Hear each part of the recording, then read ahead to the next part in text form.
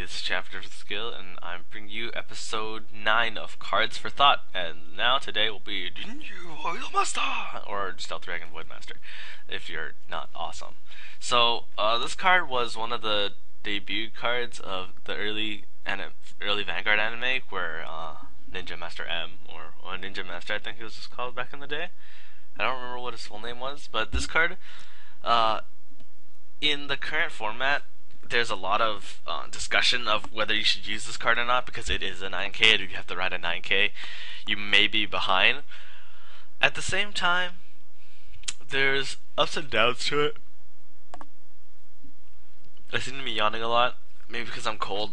I'm gonna put a jacket real quick while we talk, which is behind me in my chair. So Okay, let's let's start off with what it does. When this unit attacks, if the number of cards in your hand is greater than your opponent's, this unit gains plus 3000 to end of that battle. This is a Vanguard only effect. If it was a rear Vanguard rearguard effect, it'd be much better. I'll be honest. Um, and the second ability is a Vanguard rearguard ability, which is the most important one. When this unit attack hits, if the number of cards in your hand is less than your opponent's, you may pay the cost. If you do, your opponent chooses a card from his or her hand and, and discards it.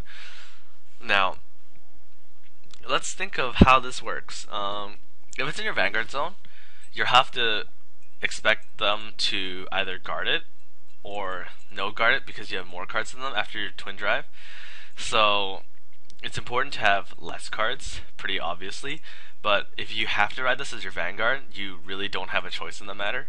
So, but generally you want this as your rear guard because stand triggers in this card is pretty dirty.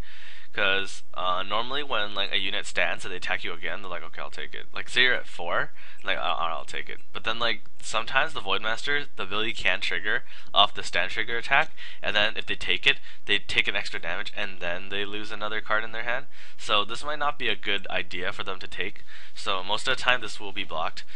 Um, say you're going first and you hit grade 3 earlier than your opponent. If you play this in the rear guard, there's a good chance that your opponent can't like they might not be able to afford the extra cards for it because they want to take the damage, they want to get to limit break, but you can just keep them from doing that because well, there's a cost to getting to limit break. They had to discard more cards.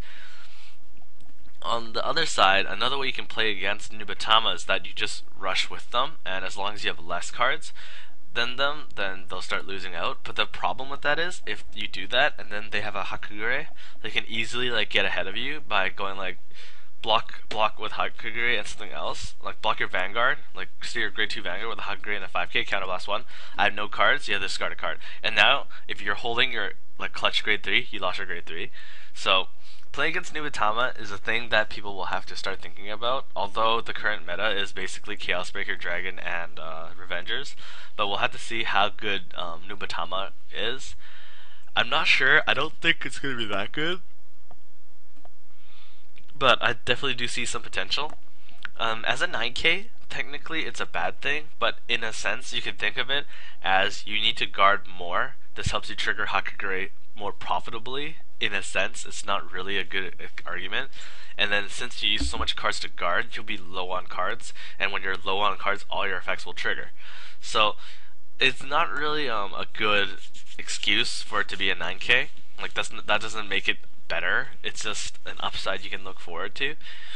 And mainly in a deck, say um, Royal Paladins, when you play Palamedes, uh, it's kind of like that in a sense, except it's not instead of a 13k attacker, it's a card that has an amazing effect in the rearguard zone. So you would play like two or three. I currently am playing three. I have to ride it like once, like every three games. So and these are all proxied cards because I still don't have them yet. So don't don't be like, why isn't there a profile yet? Because um I just don't have the cards yet. So uh so yeah, Voidmaster. He's a lot of people actually don't play him at all. They just go for the break ride, for the new card, and I don't ag- necessarily agree on that. I still think Voidmaster is a great asset to the deck, especially because it still uses the old mechanic of just straight up stripping cards from your opponent's hand. Because most of the new cards are sent to bind zone, and then you have the starter to remove cards from the bind zone, essentially stripping away cards and getting you card advantage. But it's not really it's not really a thing in my opinion. So, uh, what else about Voidmaster? Uh, the plus 3k is neat, but it's not very useful, I'll be honest. And yeah, Voidmaster, he's I think he's a sleeper. I think you should pick these up early as well because they are rare. Like like the R symbol, it's it's rare. So um, you could I'm sure they're worth like a dollar right now or like even less, maybe like 50 cents. You could probably get someone to give them to you for free. Um, but later they're gonna be hard to find, so you probably should pick these up now.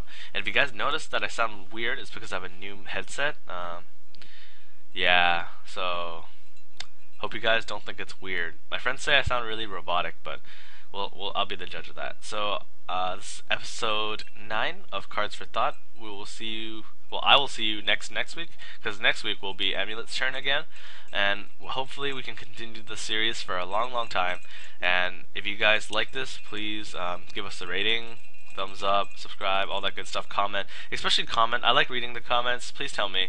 Like I like to argue or like not really argue, debate. Let's go with debate uh, with the the comments. Like when they say, "Oh, I think your card is bad. I think I think your opinion is wrong." I like that because it helps me think about um, what I can do to improve like a deck or what I can th- improve about my thoughts on a card. So then uh, we all get better and stuff. So yeah, uh, so I'll see you guys next next week and peace.